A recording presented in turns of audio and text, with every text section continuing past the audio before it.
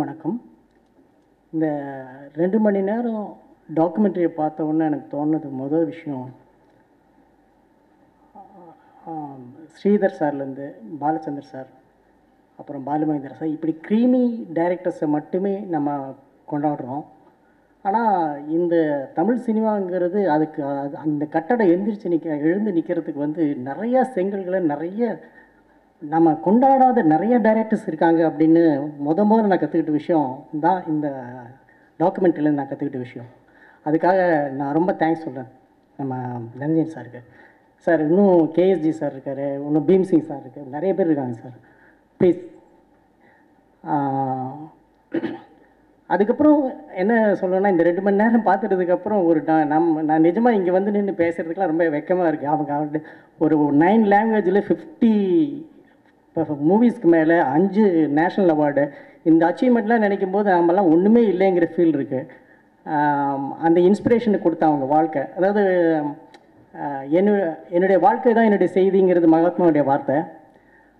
அந்த அவங்க ரெண்டு பேர்த்துடைய வாழ்க்கையிலேருந்து நான் கற்றுக்கிட்ட விஷயம் எப்படி அந்த ப்ரொஃபஷ்னலாக எப்படி இருக்கிறது அப்படின்னு தெரிஞ்சுக்கிட்டதா? இல்லை பர்சனல் லைஃப்பில் அவங்க ரெண்டு பேரும் அவங்க ரெண்டு பேரும் நட்பாக இருந்திருக்காங்க எப்படி ரெண்டு கிரியேட்டிவ் பீப்புள் மட்டும் ஃப்ரெண்ட்ஸாக ஃப்ரெண்ட்ஸ் ரெண்டு பேரும் ஒரு க்ரியேட்டிவ் சைடில் இருக்கிற ஃப்ரெண்ட்ஸ் ரெண்டு பேரும் அவங்க ரெண்டு பேரும் ப்ரொஃபஷனலாக ஒன்றா இருக்கிறதுங்கிறது ரேரான விஷயம். ரொம்ப ரேரான விஷயங்க.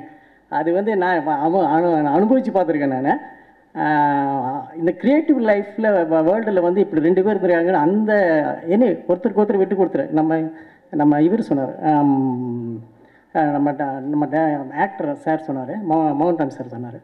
அதாவது நான் நான் சோர்ந்து போகிற சமயத்தில் அவன் தோளில் நான் என்ன அவன் தூக்கிப்பான் அவன் சோர்ந்து போகிற சமயத்தில் நான் தூக்கிப்பேன். இதுதான் நாங்கள் ரெண்டு பேரும் ஒன்றா நடந்து போகிறோம் ஒன்றா இத்தனை நாள் இருந்ததுக்கான ஒரே ஐடியா இதுதான் இது இதுதான் நாங்கள் ரெண்டு பேரும் ஒன்றா இருந்ததுக்கான காரணம் அப்படின்னு சொன்னார். அதுதான் உண்மை.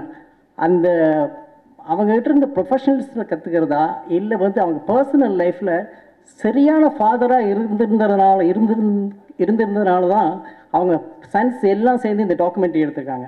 ஸோ அந்த பர்சனல் லைஃப்பை கொண்டாடுறதுன்னு தெரியல. இப்படி எல்லா விதத்துலையும் எனக்கு இன்ஸ்பயராக இருந்த கிருஷ்ணன் பஞ்சு சாருக்கும் அவங்க குடும்பத்தாருக்கும் இது தயாரித்த அந்த குடும்பத்தாருக்கும் இந்த மிக் மிக்க நன்றி.